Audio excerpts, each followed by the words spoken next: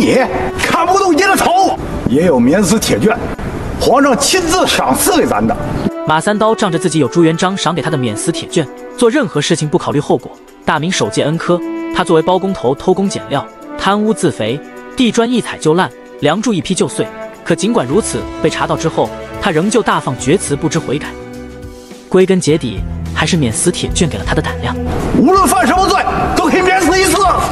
然而，当杨宪让他把免死铁券拿出来的时候，他却愣在了原地，眼神躲闪，不知所措。前些日子，我手头拘束，拿铁券换酒喝了，拿天子的恩典去换酒喝，这事儿也恐怕只有你马三刀能干得出来了。虽然手里没有免死铁券，但马三刀仍旧有恃无恐。您宽限咱半个时辰，成不？咱朋友多，弟兄多，他们要是听到咱犯事的消息，肯定会有人帮咱把铁券赎过来。马三刀是朱元璋的贴身将领，开国元勋，当年为了朱元璋，更是把两个儿子都献了出去。看在这个份上，杨宪就给他宽限了半个时辰，但仅仅也只是让他呼吸半个时辰的空气而已。因为杨宪一心想搬到淮西勋贵，恰巧他在调查马三刀的时候，查到了他拿铁券换酒喝的事情，于是早早的做了安排。蓝玉等人四处搜索，费尽九牛二虎之力，始终找不到铁券的下落。无奈他们只能集体跪到朱元璋的面前求情。皇上，马三刀寸步不离的跟了您那么多年，皇上知道不？马三刀虽然贪污了银两，但在这些年，把自个儿奉银的银两全部拿出来，给死去的兄弟们的遗孀们了。弟兄们都商量过了，马哥断了朝廷多少银两，咱们替他还，这皇上饶他一命啊！请皇上饶他一命吧！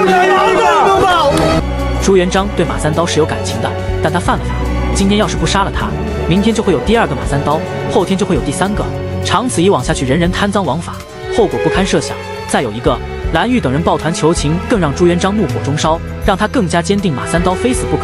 半个时辰很快过去了，朱元璋没有发话，杨宪果断处决。妈的，冤！而就在这个时候，免死铁券来了。马南山接济的穷学生李靖急急忙忙拿着免死铁券冲了进来。然而为时已晚，马叔的免死铁券，我替他赎回来了。晚了。处决了马三刀之后，杨宪拿着迟来的免死铁券，跑到朱元璋面前晃悠。朱元璋问他马三刀留下什么话没有？杨宪为了点起朱元璋的怒火，特意挑了一句：他骂臣说，凭你砍不动爷的脑袋，也有免死铁券。朱元璋暴怒。从杨宪手中接过铁券，狠狠地摔到了蓝玉等人面前。这是咱给你们的一份恩典，没有给你们贪赃枉法的权利，都是这面死铁券惹的祸。既然如此，那咱就给你们都收回来。传旨给那些持有免死铁券的功勋们，就说咱在太庙会点燃那只祭天的大铜炉，咱在那儿候着，主动的交回免死铁券的，欢迎；不交的，咱也不勉强。所有持有免死铁券的文臣武将无一例外全部交回。朱元璋这个举动有效地震慑了文臣武将，他也终于可以严刑执法了。当杀则杀，当斩则斩，概不宽容。他们的骄横跋扈有所收敛，但他们心中有恨，不敢恨朱元璋，只能把怒火转移到促成这一系列事情的杨宪身上。心字头上一把刀，忍，而且要一忍再忍。相信我吧，杨宪总有失足的那天。他只要是个人，屁股里就肯定有屎。杨宪斩了马三刀。又巧妙地促使朱元璋收回了文臣武将的免死铁券，成功激起了众怒。现在杨宪的存在已经让李善长觉得利刃当胸，芒刺在背。他在一天就没有一天的太平日子过，是时候对杨宪动手了。自杨宪入阁以来，李善长没有与他正面起过冲突，但他一直在琢磨杨宪，观察杨宪。杨宪的种种作为完全不像一个贤吏，分明是个酷吏。他今日如此阴险，就证明他昨日未必良善。哼，这等人呢？有本事，但肯定也有见不得人的地方。为了调查杨宪，李善长特意安排了一次外巡，让胡惟庸亲自去，先查老家，从祖宗八代查起，然后再查扬州，任何的蛛丝马迹都不要放过。李善长坚信，只要是个人，屁股里就肯定有屎。胡惟庸早就想干杨宪了，得到李善长的指示，立马使出浑身解数。他找到杨宪的旧搭档鲁明义，晓之以理，动之以情，诱之以利，逼之以威。很快就有了大的突破。他从鲁明义那里拿到了一把钥匙，打开房门后，他发现了杨宪的惊天秘密，里面关满了受尽冤屈的老百姓，老人、儿童、妇女大喊冤枉。胡惟庸大喜，挨个收集他们的冤屈。这趟出巡，胡惟庸满载而归，掌握的罪状足能把杨宪剁成一滩饺子馅。相国，杨宪表面上是一个精明强干的能力，而实际上是一个狠如虎狼的酷吏。接着，胡惟庸捡重点的汇报了几件：一，杨宪任扬州知府时的骄人政绩，都是不顾百姓死活，用铁腕和皮鞭逼出来的，在寒冬腊月逼迫乡民破冰下河，致使两人冻伤致死，百姓哀声遍地，他置若罔闻。二。杨宪为了修复城墙，强行令妇孺老弱到临县砍柴烧砖，两月内冻死饿死四人，后弃尸荒野。三，有位乡民因为少交纳了五十块城砖，便被杨宪罚没家产，关入大牢。还有更甚的，他贪污官吏俸银，致使官吏无法为病重父母抓药，致使父母双亡。